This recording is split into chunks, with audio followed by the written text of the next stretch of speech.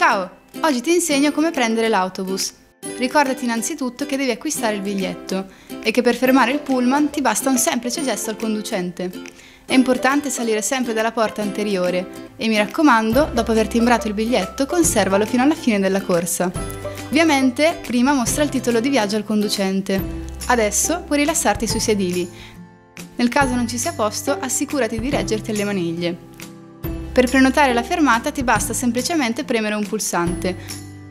Non dimenticare di scendere dalla porta sul retro.